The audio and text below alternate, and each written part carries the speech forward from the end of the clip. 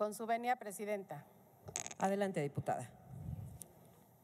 Entiendo que el gobierno tenga que realizar ajustes a los programas y que no exista un presupuesto que alcance.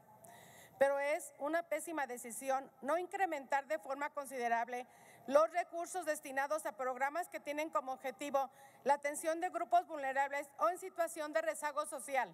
Por ello, debemos recordar que la situación es un gran número de personas empeoró durante la pandemia generada por el coronavirus, donde las acciones de confirmamiento y resguardo tuvieron un impacto en la vida familiar al agravarse las situaciones de estrés económico y tensión familiar, particularmente para mujeres, niñas y niños e adolescentes.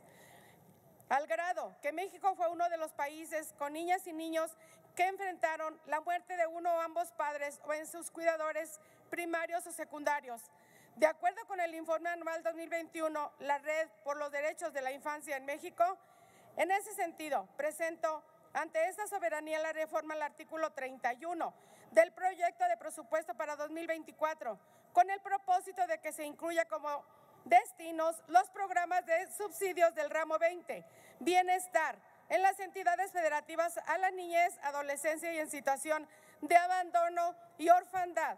Otra situación que se agravó por la pandemia sanitaria que desafortunadamente continúa es la violencia contra las mujeres, sus hijas e hijos. Por ello, es importante incrementar los recursos destinados a programas que tienen como objetivo fomentar la equidad de género y combatir la violencia contra las mujeres, sus hijas y hijos, como son el programa de apoyo a refugios especializados para mujeres y víctimas de violencia, género y sus hijas e hijos, y el programa de apoyo a las instancias de mujeres en las entidades federativas.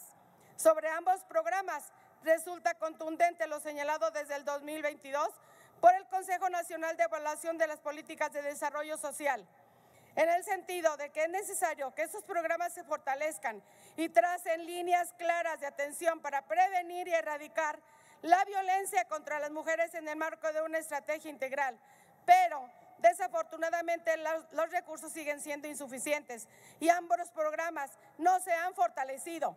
Otro programa que enfrenta las mismas circunstancias es el apoyo para el bienestar de las niñas, niños y hijos de madres trabajadoras, que aunque no es el mejor en su tipo, desafortunadamente, ahora se agrega la falta de presupuesto.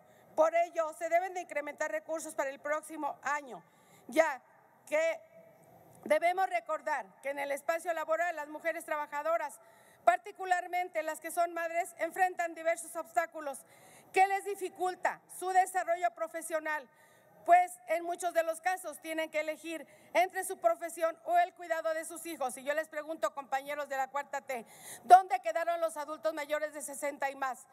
Cuando ya no les dan trabajo, cuando ya todas las puertas se les cerraron, ya pensaron en los adultos de 60 y más. Ustedes dicen que son la sabiduría de México. Pensemos en ellos. Es cuanto, Presidenta. Gracias, diputada. Consulte la Secretaría. La